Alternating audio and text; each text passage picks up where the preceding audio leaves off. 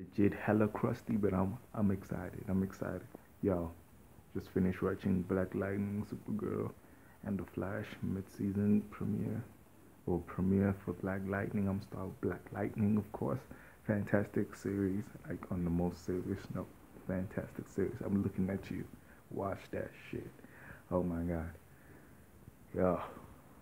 Yo, I haven't felt this hype about a show since Arrow, you know, premiered. Like Supergirl, DC Legends, and the Flash grew on me because the premieres were like, ha, but they were good, but they grew on me as time went on.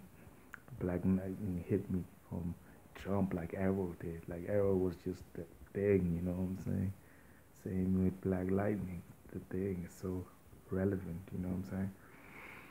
I love, really loved the show. Everybody's performance was phenomenal suit is like TV budget. I mean, like, you know what I'm saying? But it's, it's the Arrow. First, they say it's not part of the Arrows, but it is. They going to crossover. We all know that shit.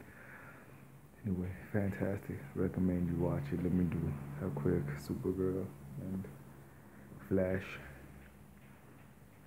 review on top of that. I didn't sound so enthusiastic when I mentioned both of them, but I enjoyed them for the most part.